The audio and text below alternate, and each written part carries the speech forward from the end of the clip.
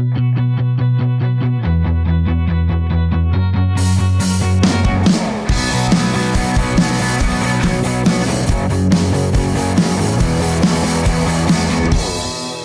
tout le monde, j'espère que vous allez bien. Ici Myriam, votre animatrice, pour le nouveau podcast Les Jolies, un projet que je chéris depuis plusieurs temps, que je travaille là-dessus depuis plusieurs mois également. Donc, je suis plus que contente, enfin, de pouvoir parler à travers un micro avec un casque d'écoute sur les oreilles. Donc, euh, Les Jolies, c'est quoi pour moi? Ça va être une sorte de thérapie en m'adressant à ma communauté sur divers sujets, autant professionnels que personnels. Je, souhaite vous faire entrer dans mon univers d'entrepreneur du domaine de la beauté, vous faire découvrir davantage mon intensité sans filtre et sans tabou, avoir une tribune pour m'exprimer sur diverses sphères, autant développement personnel, famille, spiritualité, euh, mon entreprise, mon équipe, mes opinions impopulaires, bref, un peu ma perception de la vie. Je souhaite vous faire montrer pardon, une petite facette de moi un peu plus vulnérable que je ne montre pas si souvent que ça. Je désire, je désire, que ce podcast soit sans limite et sans tabou, qu'il devienne une petite addiction saine qui vous apportera un bon mindset pour débuter votre journée ou finir votre soirée. Euh, je suis loin d'être un coach de vie ni un mentor. Mon intention n'est pas de vouloir euh, me mettre un chapeau que je n'ai pas, plutôt vous partager mes apprentissages, mes expériences de la vie, mon parcours qui est, je dirais, atypique. Je vais vous faire entrer dans mon... je vais vous faire connaître l'envers du décor, et l'enfer, je vais vous faire connaître l'envers du décor de la business qui est parfois dont, qui semble parfois don sans problème, mais pourtant peut être un casse-tête à chaque jour. Donc aujourd'hui, je vais vous parler euh, pour débuter de mon parcours que j'ai nommé parfaitement imparfait. Euh, quand j'ai choisi ce nom-là, c'est que je trouvais que ça me représentait vraiment bien, en sens que je suis rendue à 28 ans aujourd'hui. Euh, je dis pas que je suis vieille, non, non, non, mais simplement qu'on peut avoir... Dans la vie, il n'y a pas nécessairement une ligne directive. Des fois, il faut sortir un petit peu de la trille puis revenir dans le droit chemin. Donc, c'est ça que je voulais vous parler aujourd'hui. Donc, comme je disais, euh, le podcast pour moi est vraiment un check sur ma to-do list professionnelle. C'est vraiment un souhait que je voulais faire dans, dans ma carrière. Euh, donc, aujourd'hui, je vais vraiment vous parler euh, de mon parcours, qu'est-ce qui fait que j'en suis ici aujourd'hui, autant personnellement que professionnellement. ensuite de ça, je vais vous faire grosso modo, comme je disais, qu'est-ce qui a fait que je suis arrivée ici. Puis, euh, c'est ça. En espérant que vous aimez ça. Donc, on va commencer. Euh, juste pour me présenter un petit peu pour les gens qui ne me connaissent pas, euh, je me présente Myriam, 28 ans, aux airs latino et québécois. Je suis une petite Colombienne qui est adoptée quand j'avais trois mois. je suis verso, 100% intense et assumée dans toutes mes couleurs. Je suis une jeune femme fonceuse, exubérante et positive, parfois, parfois même un petit peu tannante, je dirais. Euh, donc oui, j'ai été adoptée par des parents québécois qui sont venus me chercher à l'âge de trois mois euh, en Colombie, en Amérique du Sud. Euh, donc oui, je me, je, comme je dis souvent, je considère que j'ai gagné au, jackpot parce que pas, les adoptions, c'est un peu un coup de dé, comme on dit. Donc c'est ça. Ensuite de ça, ben, j'ai eu vraiment une enfance un peu typique comme toute, comme la plupart d'entre nous. J'ai été au primaire, au secondaire, puis au cégep j'ai fait un DEC en technique juridique et un an au, euh, à l'Université Laval en au, certificat en droit. Les plusieurs dans mon entourage, dans mon entourage de savent, j'étais euh, plus que toquée, entre guillemets, sur tout ce qui était juridique, droit. Je voulais donc être avocate, je voulais donc travailler là-dedans. J'avais donc écouté des séries puis des livres que je voulais donc, donc, donc, donc euh, faire ça. Puis donc, j'ai foncé, puis je, suis partie pour, à 17 ans, dans la belle capitale nationale. Donc, j'ai été, étudié, j'ai fêté, euh, j'ai, j'ai, flambé une coupe de pré-bourse là-dedans, mais bon, ça, c'est. si ma mère m'écoute, ben, je suis désolée, maman. Donc, euh, c'est ça. Euh, à Québec, ça a été beaucoup, beaucoup de, de, d'expérience, beaucoup, beaucoup d'apprentissage. puis à travers toutes ces quatre années-là, j'ai tout le temps été une fille que oh, j'ai toujours aimé les, choses girly, je pourrais dire, les beaux cheveux, les beaux ongles, les extensions de cils, etc. Puis, euh, sans savoir, je savais que j'aimais ça, mais de là à dire, oh, je voudrais être esthéticienne, ça, c'est une autre chose, bien évidemment. Donc, euh, comme je disais, j'étais quatre ans à Québec. Puis par la suite, je suis revenue. La vie a fait en sorte que je suis revenue au lac, à notre bon vieux lac Saint-Jean, comme je dirais. Euh, je me suis placée tranquillement, pas vite, dans, mon métier, dans mon. Dans, ma branche, comme on dit. ensuite de ça, j'ai travaillé dans les bureaux d'avocats, dans les bureaux de notaires. Puis j'ai terminé ma carrière, je pourrais dire, dans le juridique, euh, dans, un, bureau euh, plus au ministère, je dirais. Donc, euh, c'est ça. Puis un donné, je suis arrivée sur mon X qui a fait en sorte que j'étais plus vraiment heureux dans ce que je faisais. J'étais plus vraiment épanouie non plus. Euh, je vivais du pour ma paye, la, bonne expression. J'étais plus vraiment, vraiment euh, passionnée. Puis j'ai décidé de faire un, le grand saut, comme je dirais, euh, en 2019 pour vraiment vivre de, ma passion, puis vivre de, de, de l'esthétique. Je fais une petite parenthèse, je reviens dans le temps. En 2019, je pourrais dire ça comme ça. non, pas 2019, pardon. 2015, oui, 2015. Dans le fond, j'ai commencé à faire mon cours en extension de cils. C'est là que tout a commencé pour moi, tout ce qui était côté plus euh, volet beauté. Euh, fait que j'ai commencé à faire des extensions de cils en 2015 par-ci par-là pour x, y raison. Je rentrerai pas dans les détails euh, parce que c'est pas vraiment pertinent. Puis j'ai vraiment développé au fil du temps, au fil des années, vraiment une passion, puis voir que j'aimais vraiment ça, puis que je voulais vraiment travailler là-dedans. Donc, comme je le disais tantôt, en 2019, j'ai vraiment fait le saut de me lancer un peu dans le vide sans trop savoir qu'est-ce qu'il en était, qu'est-ce qui allait se passer, tout ça. Donc, concours de circonstances, euh, je m'associe avec une certaine euh, fille que je n'aimerais pas pour les, pour les besoins confidentiels, mais bref, on fait un petit bout de vie euh, en termes de business ensemble. On s'ouvre un petit salon et tout ça. On fait nos trucs. Puis par la suite, ben, je réalise que j'étais une visionnaire, puis que je voulais vraiment, vraiment un gros salon en bon français, que je voulais vraiment, vraiment vivre de ma passion, créer des emplois, créer une entreprise qui se diversifie de ce qu'on n'a pas en région, ce que je pense qui est checklist dans, qu'à ta beauté est actuellement. Euh, donc, euh, c'est ça. Fait dans le fond, euh, je fais quelques. Je fais environ un an et demi avec cet associé-là. Puis, la fameuse pandémie, la fameuse COVID, elle arrive. encore, on va dire, un concours de circonstances. La vie, en haut, s'occupe tout le temps. Je dis tout le temps que tout est écrit que rien n'est. Il n'y a jamais d'hasard dans la vie. Tout est écrit. Donc, euh, je me dissocie de cette personne, puis euh, je me starte vraiment à ta beauté, qui est mon bébé, qui, qui, est mon, mon pré-ado, je pourrais dire ça comme ça. Euh, donc, je me starte à ta beauté, puis Renault par-ci, peinture par-là, achat de meubles, bref, sans trop savoir où je m'en vais, je me lance dans le vide, là, complètement là, dans le vide. Puis, tu sais, on est allé beaucoup en croissance organique pour tout ce qui était du à ta beauté. Puis euh, j'ai bâti mon équipe à travers les mois, à travers les semaines.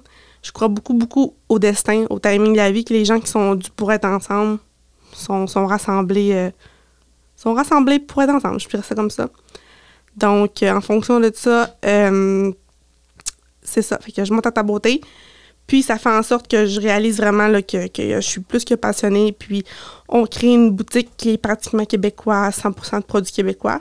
On le sait qu'en 2020, il y a eu vraiment un, un, tournant sur le panier bleu, je me rappelle pas si je pense que c'est le bon mot, panier bleu. Donc, on prend, on, commence à surfer, dans la vague, puis on commence à rentrer du stock, puis du stock, puis du stock, puis on en vend, puis on livre un peu partout euh, à Dolbeau, à Saint-Félicien Saint-Prime. Mon chum a fait des, des, allers-retours euh, à ma demande. Bref, on sort euh, les fesses, en bon guillemets, de, cette fameuse pandémie. Ben, première vague, on va dire, parce qu'il y a eu quelques vagues on sort les, les, fesses de cette première vague-là due à notre boutique en ligne, notre site web qu'on a mis sur pied et tout ça. Euh, puis, entre-temps, euh, vient une proposition d'affaires qui fait que j'achète euh, un salon de bronzage qui datait de plusieurs années à Robertval. Donc, je me stocke de cette machine de bronzage sans trop savoir qu'est-ce qui va se passer, sans trop savoir c'est quoi du bronzage non plus. Dans ma tête, c'est très années 2000, je vous le cacherai pas. Mais bref, on voit l'opportunité d'affaires. Mon chum sort ça s'efforce de, de mathématicien et cartésien qu'il est. Donc, on voit que c'est une belle opportunité. Donc, on saute dessus sans trop savoir. Puis des fois, tu sais, je me dis, mon Dieu, je suis donc bien folle. C'est tout ce qui s'est pu se passer, puis tout ce qui a pu, je là. Je n'ai pris des risques, des fois calculés, des fois moins calculés, mais bon, je pense que c'est ça en affaires, puis qu'il faut savoir euh, se lancer un peu euh, dans le vide sans trop savoir pour que des fois que ça réussisse. Parce que, tu sais, là, je vous parle, ça a l'air donc mais je n'ai fait des petits flops. Tu sais, des achats de compagnie, ben, de euh, rentrer une certaine ligne de produits puis que finalement c'est un flop total, mais j'ai investi 2000 dollars, ben, je n'ai fait quelques-unes. Mon équipe pourrait vous en parler, des fois on arrive encore de certaines choses, mais bon, c'est ça, là, être en affaires, puis il y a des bons côtés puis il y a des mauvais côtés. Donc, je vais revenir à nos moutons, je suis rentrée dans nos cabines de bronzage. Donc, euh, c'est ça, j'achète euh, sept cabines, pardon, puis on reprend un certain rachat de clientèle. Donc, on commence à rouler ça, puis au fil du temps, ben euh, ça roule, mais encore là, c'est beaucoup d'apprentissage. Puis encore, même en date d'aujourd'hui, des fois, il y a des affaires qu'on apprend encore sur le terrain. Donc, c'est ça. Par la suite, euh, mon équipe est grandie au fil du temps, au fil du temps. On est rendu neuf en date d'aujourd'hui, dont moi, donc 10 personnes. Euh, mon équipe, c'est le trois quarts de ma vie, je dirais. Je dirais que c'est mes enfants que, que j'ai pas eu, dans le sens que je suis pas encore maman, je suis belle maman par contre. On aura la chance d'en reparler dans d'autres podcasts. Mais euh, les filles qui travaillent dans mon équipe chez ta beauté sont vraiment mes petites belles, mes petites euh, précieuses pour moi. Donc, au fil du temps, on commence à se construire une belle équipe, une belle réputation au sein de Robertval et les alentours, bien évidemment. Et la boutique prend de plus en plus euh, d'ampleur, puis on se vraiment une belle réputation aux yeux des fournisseurs aussi, aux yeux d'Instagram, les réseaux sociaux. Donc, c'est ça. Puis, par la suite, j'ai un autre projet X qui est vraiment de rentrer une ligne de produits capillaires qu'on n'a pas en région. Et donc, mon, le critère que je dois avoir est vraiment de suivre mon cours de coiffure. Ça, on remonte à un an, en septembre 2021. Ouais, ça fait un an que j'étais à l'école en plus. Ouais, en plus de tout ça, vous me direz, oui, oui, je suis au DAP de coiffure cinq jours semaine. Donc, euh, je, me, je me lance sans, sans, trop. Moi et Gabriel, que vous aurez la chance de, de voir dans mes invités dans la saison 1, euh, moi et Gabriel, on se tire dans, le vide. On s'inscrit au DP de coiffure à 26 et 28 ans. Un retour sur les bancs d'école qui n'a pas, pas été facile, il ne l'est pas encore, dans le sens que il me reste quelques mois à finir. Je suis sur mon dernier mille, mais quand même. Vraiment une décision qui a été euh, une de mes pires bonnes. je ne sais pas encore quel adjectif dire par rapport à ça, mais bref, euh, ça a vraiment été une grosse décision. Je suis, donc, je suis très fière de moi, puis je vais l'être encore plus dans quelques mois, mais vraiment, ça a été euh, une maudite bonne décision. Mais ça va emporter fruit là, pour tout ce qui, ce qui va s'en venir pour à ta beauté. Tu sais, dans la vie, des fois, il faut suivre notre cœur puis notre instinct, puis notre instinct, pardon, puis pas trop se poser de questions, puis vraiment vivre pour soi, je pense, c'est euh, pas un de mes mantras, mais vraiment, là, euh, une de mes citations favorites, je dirais, parce que quand on vit pour les autres, ou on se questionne, ou on se remet en doute, ben, c'est là qu'on réalise, ben, en fait, que ça nous freine surtout, puis qu'on se dit, ben, au final, tu je l'ai fait, l'ai pas fait parce que pour x, y raison, mais ce que toi, au fond toi, tu voulais vraiment, ben, c'est ça. Fait que moi, je vous le dis, puis je dis pas que vous allez pas vous planter ou quoi que ce soit, là. Je me suis raclée à la face une couple de fois, ça se fait, comme on dit, en bon, euh, en bon québécois, mais bref, faut vraiment vivre pour vous, je pense que c'est certaines choses que je vais apporter à travers mon podcast, beaucoup de développement personnel, vous faire peut-être pas changer nécessairement votre mindset parce que mon but, c'est pas. Euh, je suis loin d'être une coach de vie, là, mais c'est vraiment de savoir euh, suivre son cœur puis suivre sa petite voix. Tu sais, notre petite voix, là, nous trompe rarement. En tout cas, la mienne, des fois, elle me trompe, mais quand je l'écoute, là, elle me trompe rarement. Puis on a toute une petite voix. Il faut juste savoir la travailler puis savoir. Euh, y faire une place parce que des fois les gens disent ah, je n'ai pas de feeling mais c'est parce que des fois c'est juste une question de routine. T'sais, apprendre à travailler tout ça puis le développement personnel c'est vraiment euh, comme quand on décide ok on mange bien ok on va au gym ok. C'est un, une routine une routine de vie. Euh, puis moi le développement personnel je pratique ça depuis plusieurs années dans ma vie puis j'ai vraiment vu des changements euh, majeurs des changements tant personnels que professionnels. C'est super super important pour moi. Donc c'est ça petite parenthèse là, là développement personnel mais bon euh, donc, c'est ça. Après ça, euh, quand ce qui a été dans ta beauté, ça a été des rénaux, puis des rénaux, puis des agrandissements, puis des améliorations locatives. Ce mot-là, je pense, c'est mon mot de 2021-2022. Euh, donc, c'est ça. je dirais que vraiment, ça a grandi en, en X, là, on a monté en flèche cette business-là. Puis, je suis très fière de ça. Je suis très fière aussi de savoir qu'on se démarque en région. Puis c'est pas tout le temps non plus facile de vraiment euh, s'assumer. Parce que des fois, on a une fameuse mentalité en région que la réussite de certains ou euh, quand les gens se dépassent ou quoi que ce soit, ben c'est donc mal vu ou il y a donc de la jalousie puis donc des fameux haters. Il y aura un épisode là-dessus éventuellement, mais bref. Euh, moi, je m'assume à 200% comme je vous dis, rendu à 28 ans, je connais mes couleurs, je connais mes défauts, je connais mes qualités, je sais ce que je vaux, ce que je, je sais ce que j'ai amélioré. Fait que moi, rendu là, quand, puis comme je dis à mon staff tout le temps, euh, ils vont en parler, qu'ils en parlent en bien ou en mal, ils vont en parler pareil. Fait qu'il faut juste faire nos trucs, puis date. Bref, euh, c'est ça. Fait que en, date d'aujourd'hui, euh, je dirais qu'à ta beauté, ça a été vraiment le, le, chemin de ma vie que au final, je suis rendue. Puis je suis donc fière de vraiment avoir créé ce bébé-là j'ai beaucoup appris, j'ai vu grandir la jeune Myriam. J'ai commencé ça, j'avais 25 ans, je suis rendue à 28 aujourd'hui. euh, tu sais, des, des, des, des, des, pleurs, des cris, tout ça, j'en ai eu dans le sens que quand on vit du stress, c'est pas rien que beau, là. Je parle ça comme si c'était beau, mais je pourrais ça faire un épisode que pour les, certains, les, côtés un peu plus, pas négatifs, mais un peu plus sombres de l'entrepreneur qui est pas évident parce que c'est de loin être évident, mais ça vaut la chandelle. Parce que, des fois, des fois, on dit comment tu fais, comment tu fais? Quand tu es passionné, que tu es passionné par la beauté, que tu es passionné par euh, les plantes, peu importe. peu importe ta passion, ben, quand tu es passionné, ben, ça te donne du jus pour les, intempéries, puis quand c'est un peu plus noir, mettons. Fait que c'est ça, comme, euh, comme je dirais, ben faut être passionné pour traverser ces millions de tempêtes. Parce que comme on se dira, ben c'est sûr que les deux dernières années de pandémie, ça a loin, ça n'a pas été facile, vraiment, vraiment pas. On s'est euh, redessiné, on s'est euh, surpassé, tout ça, mais tu comme je dis souvent, la, réussite, on la mérite. On n'a volé rien à personne. On s'est vraiment euh, on s'est vraiment créé notre petit cocon, notre petite famille, notre petite havre de paix que j'exploite souvent sur mes réseaux sociaux comme nom. L'havre de paix, c'est vraiment à ta beauté.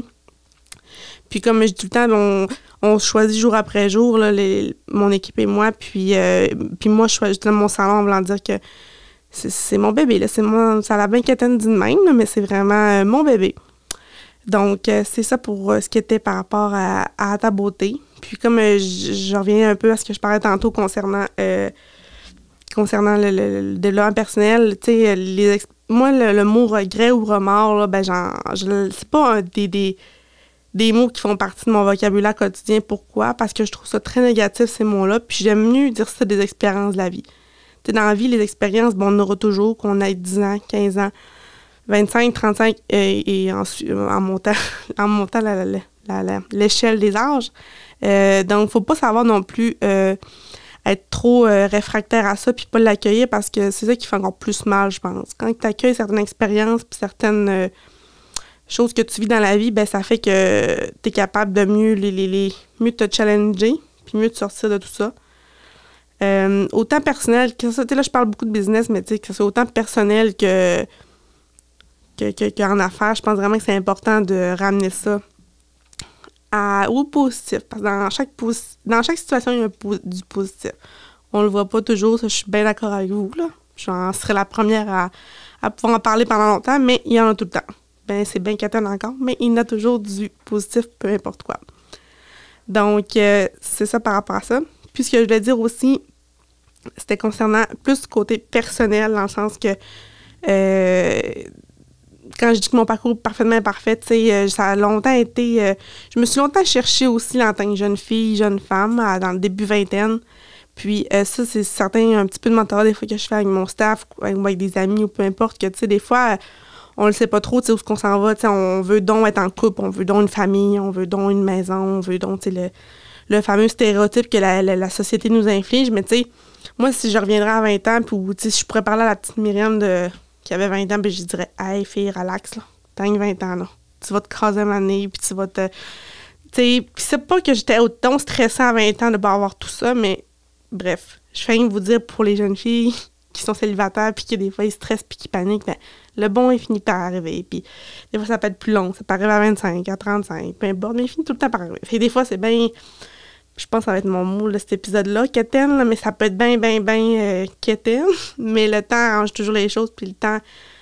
Euh, le temps, il travaille tout le temps pour soi. Il faut juste être patient. Parce que, comme on dit, ben chaque chose arrive à bon euh, chaque chose arrive avec cette attente en tout cas quelque chose comme ça mais il faut être patient dans la vie puis je pense que chaque petite victoire puis chaque petit projet, ben ça se savoure euh, sur du long terme. Parce que pas tout le temps en criant ciseaux, comme ma mère dirait que on réussit tout. Puis aussi, ce que je voudrais dire par rapport à mon certain parcours parfaitement imparfait, c'est que faut savoir prendre des fois des, des 360 dans notre vie, puis pas trop avoir peur, même si t'as la chienne, puis t'as tu sais même pas où ce que tu t'en vas, ben des fois, tu sais, euh, des expériences plus négatives ou, ou X, ben, fais en sorte qu'elles vont t'amener dans tes plus beaux chapitres de ta vie. Tu sais, euh, faut pas avoir peur. Puis des fois, j'entends ah, oh, je suis pas heureuse à ma job. Ah, oh, je suis pas, pas heureux en couple. Ah, oh, bref, vous voyez où je m'en vais. Ben, changer les choses. Si vous n'êtes pas heureux dans certaines affaires, peu importe c'est quoi, ben, il faut que vous changez ça parce que ça. Si vous ne le changez pas, personne ne va le changer pour vous. Ça, ça c'est quelque chose que j'ai compris depuis plusieurs années. Fait que c'est pour ça que des fois, le monde me disait, Myriam, je sais pas comment tu fais pour carburer au projet ou euh, te revirais de bord pour X, Y raison. Ben, parce que moi, moi je j'angoisse pas puis je stresse pas quand je suis en action. Quand mes affaires sont faites puis ma to-do list est faite, ben OK, je me, je me, je peux pas me taper des mains, mais je peux dire OK, c'est fait, c'est fait. Tandis que quand ben, t'es en t'es en inaction, même pas un mot ce que je vous dis là, mais bon, quand t'es un peu dans la peur et tout ça, ben c'est sûr ça nous gèle, ça nous gèle puis on fige un peu. Fait c'est ça qui fait des fois on prend les moins bonnes décisions ou on attend trop longtemps puis il y a des opportunités ou des, des, des, des ouais, opportunités, je pourrais dire, nous passe à travers les mains, que ce soit, comme je dis, business ou personnel. Faut vraiment savoir saisir les opportunités que la vie nous offre. Puis aussi savoir euh, prendre les circonstances que la vie nous, nous, apporte. Parce que comme euh, Justine me dirait souvent, Justine c'est mon bras gauche au salon, euh, la vie donne à ses meilleurs soldats les plus gros combats. Ça, au début, je la comprenais pas tout le temps, mais bon, avec tout ce qu'on vit aussi par rapport à l'incendie, en date d'aujourd'hui, ben, vous le savez, beaucoup ont, été relocalisés dû à l'incendie de Robertval, qui a eu lieu il y a environ un mois. Euh, donc, on a un gros combat présentement, mais bon, euh, on est des bons soldats, puis euh, on est des soldats forts, je dirais. Donc, on va s'en sortir gagnant, mais bref. faut pas avoir trop peur, faut pas trop non plus. c'est pas de question moi, en 2019, je me suis tirée dans le vide. J'ai fait un 360 dans, mon, dans ma job professionnelle, une job de gouvernemental, fonds de pension. Euh, alors, le kit, là, comme on dit, mais que j'étais pas heureuse. J'étais pas heureuse, puis je vivais pour mon jeudi de paie, pour mon dépôt de ma paie à minuit. Je me disais, mon ex à l'époque m'avait dit Myriam, tu vivras pas jusqu'à jusqu'à 50 ans avec cette mentalité-là, ça n'a pas de sens, c'est pas toi, tu sais. Tu sais, veut, veut pas, puis ça, je le réalise avec le temps, mais notre emploi, c'est la place qu'on passe le plus de temps c'est la place qu'on est le plus que souvent à notre maison. qu'on euh, je veux dire, on est plus souvent là qu'avec nos, familles, nos enfants, nos conjoints. Donc, pour vrai, un travail, il faut être bien. Au-delà du fonds de pension, au-delà du chèque de paye, au-delà des avantages sociaux. Ça, je trouve, tu sais, c'est bien correct, là. Je veux dire, je, juge aucunement ça, mais si vous n'êtes pas bien là-dedans, si vous vous trouvez plus, euh, vous êtes plus épanoui, vous êtes malheureux, ben, on change. Tu sais, euh, moi, en date d'aujourd'hui, j'ai 28 ans, j'étais à l'école puis je suis propriétaire d'une entreprise. Ben oui, c'est très, très atypique, c'est très, très... Puis en plus de ça, vous je vous en dis une bonne encore plus, plusieurs le savent, mais moi et mon conjoint, on train de se construire une maison, ben on est revenu chez mes parents. Fait vous voyez, genre que des fois, on, veut tellement, genre, que ça soit parfait, puis tout, mais... Puis des fois, je ramène mon chum parce que mon chum, ben, c'est un fameux cartésien, c'est un fameux, c'est un fameux euh, analytique, je dirais. Donc, lui, des fois, à le voir trop loin, ben il y a de la misère à visualiser, tandis que moi, je suis une rêveuse puis une visionnaire. Et moi, je suis capable de me perdre dans mes nuages puis mes licornes. Je suis bien bonne là-dedans. Tandis que lui, c'est autre chose. Ça me prend des chiffres, ça me prend des, des, des, des, pas des preuves, mais ça plus concret, disons. Fait que c'est sûr qu'en fonction de ça, ben, comme je disais, il faut savoir se projeter, il faut savoir euh, visualiser. Euh, donc, euh, vous voyez mon parcours, il est de loin être typique. C'est pour ça que je disais que l'épisode va s'appeler Mon parcours parfaitement imparfait. donc, c'est ça. Ayez pas peur de prendre certains risques, certains. Euh, sortir de la trail un peu puis revenir pour avoir le but ultime. C'est comme je dis à mon, à mon chum euh, dernièrement, on a, on a pris des décisions en 2021 de retourner habiter chez mes parents pour avoir la maison de nos rêves, qui, on espère, on sait jamais, mais qui sera notre dernière maison, ma première et ma seule. C'est ça que je visualisais depuis que j'avais 20 ans. Fait que, c'est ça. C'est des choix. Fait des fois, oui, c'est pas commun ni traditionnel, mais c'est tellement beau. Fait que, moi, comme je dirais, j'ai hâte, dans 20 ans, dans 10 ans, raconter ça à mes enfants, puis dire, tu sais, tout raconter ça, puis, tu juste leur donner aussi une certaine, euh, pas une nouvelle éducation, pas nécessairement des nouvelles euh, croyances, mais je veux dire plus, euh, leur expliquer que dans la vie, c'est vous, c'est nous autres qui tracent notre chemin. Que ça soit, que ta mère te dit ça, que ton chum te dit ça, que ton prof, peu importe, ben, c'est toi, c'est ton cœur, c'est ton instinct. Puis j'en reviens à tantôt de, de, dire de vivre pour soi. C'est, je pense, le plus beau cadeau qu'on peut se faire, pour de vrai, sans, sans farce.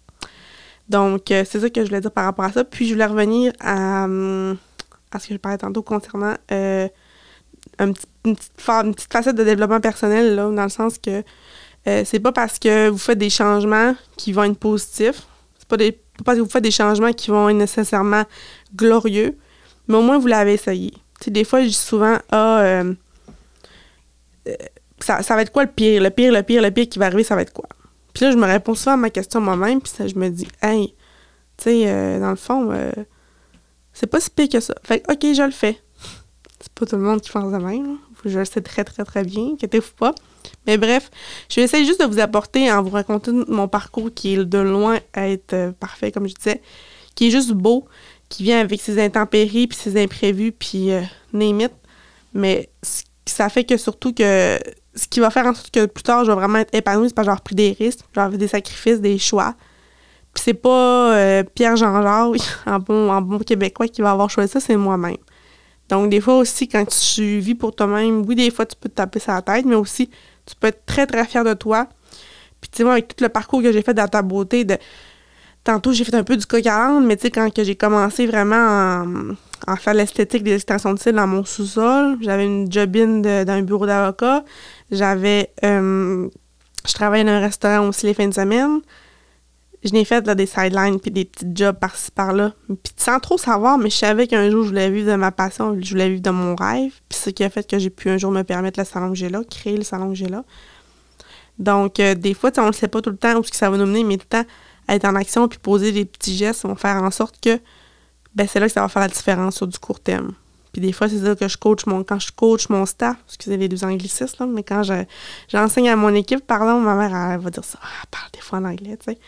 Mais, euh, ben, parler en anglais, c'est relatif, mais en tout cas, bref, quand j'enseigne un peu à mon staff motivation, puis côté, là, euh, se développer son, son, entreprise, sa carrière, ben, c'est en posant des petits gestes qui vont vraiment faire la différence. Puis pour vrai, moi, j'en ai des preuves. J'en ai, ai des preuves euh, ben, vivantes. Tout ce que j'ai fait en date d'aujourd'hui, ben, depuis j'ai 21 ans jusqu'à aujourd'hui, ben, ça a fini par payer. Pas nécessairement monétaire, mais je veux dire en termes de reconnaissance, d'acquis. Euh, je suis donc fière. Des fois, avec la relocalisation qu'on a eue puis l'incendie qu'on a été victime, ben, je prends conscience. Vous le savez, plus, plusieurs personnes savent que je suis une personne très, très humble. Des fois, même un peu tôt, parce que ça me fait perdre une, pas une certaine crédibilité, mais je réalise pas nécessairement tout le temps qu'est-ce que j'ai pas nécessairement genre du matériel, mais ce que j'ai pu créer, parce que je suis tellement là-dedans, puis je suis tellement passionnée, moi, c'est comme naturel. Ça que je suis très, très humble là-dedans.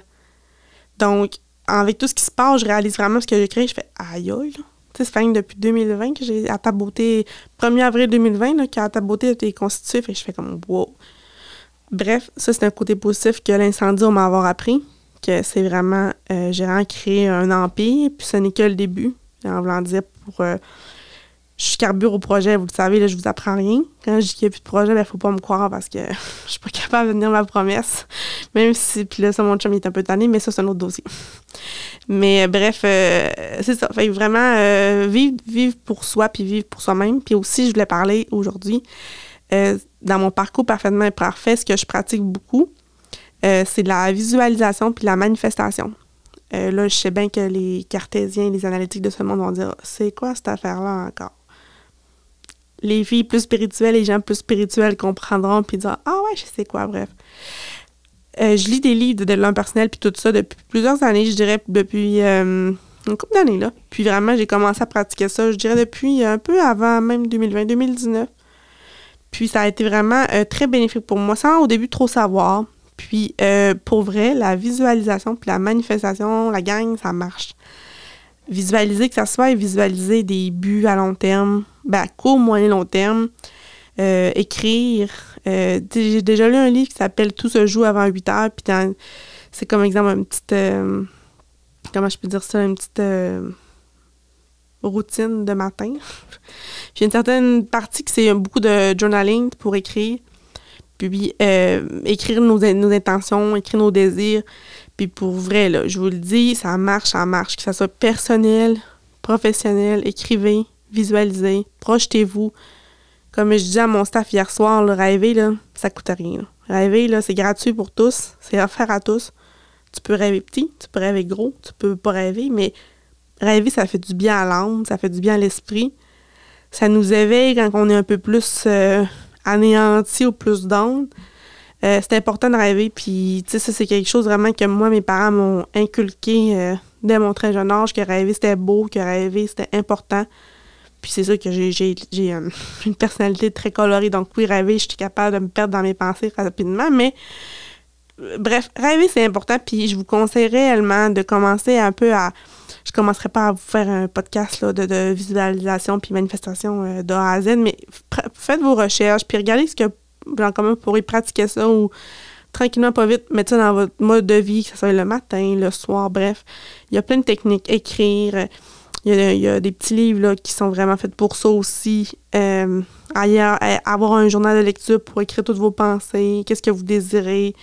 Des vision boards qu'on entend souvent qu'on fait en début d'année pour voir notre année, comment tu mets des, comme un peu du scrapbooking, tu mets des photos de qu'est-ce que tu aimerais avoir, puis tout ça. Puis pour vrai, je vous ressortirai tout ce que j'ai fait dans, en termes de, de, de manifestation puis de développement personnel. Ben, il n'y a pas grand-chose qui sont pas arrivés. Des fois, le monde font comme aïe aïe. Ou tu sais, ça, ça compte pas de sens. Puis des fois, les filles au salon, ils disent pas que j'ai un don, mais que quand je visualise ou que je parle tellement de quelque chose, quelque chose, ben ça finit par arriver. Des fois, c'est en termes de mois, des fois, c'est en termes de semaines, des fois, c'est en termes d'années.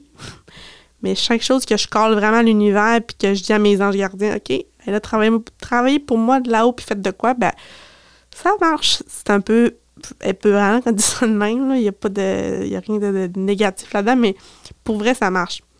Fait je vous invite vraiment, vraiment à pratiquer ça à travers vos, euh, votre mode de vie, vos, vies courantes. Puis, c'est pas parce qu'on a 30 ans ou 40 que c'est pas le moment de travailler sur sa personne. Des fois aussi, je trouve que, pas qu'en région, euh, là-dessus, on est un petit peu. Euh, je vais dire mes mots, hein, je vais pas dire n'importe quel mot, mais on, des fois, on a don de la misère à vouloir travailler sur soi, puis le monde, ils sont don euh, en mentalité un peu réduite, dans le sens que, voyons, moi, je fais pas ça, voyons, mais hey, c'est pour ça souvent que je me fais ramener avec le salon, être créé un salon digne de Québec-Montréal. Ben, mais qui, qui, qui a écrit qu'il pourrait pas avoir une entreprise de même au Lac-Saint-Jean?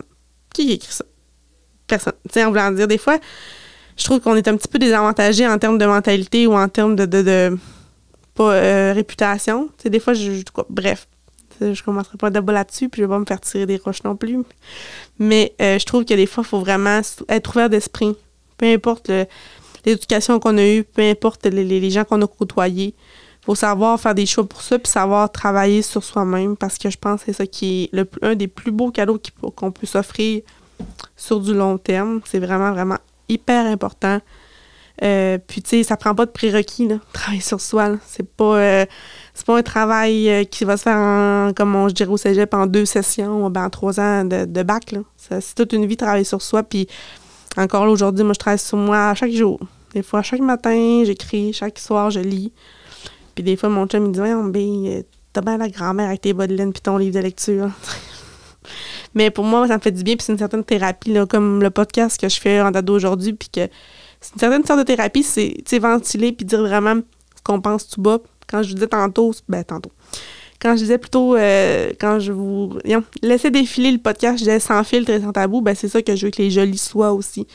Une, des, des, plus, en ça être plusieurs saisons, plusieurs épisodes, puis qu'on puisse vraiment se bâtir une belle communauté, puis que je sois un peu. Euh, une sorte de référence que vous aimiez aller vous cliquer puis hey, OK, les jolis ont sorti un nouveau podcast. Là, c'est tout petit, tout ça, mais je, vois vraiment loin pour les jolis.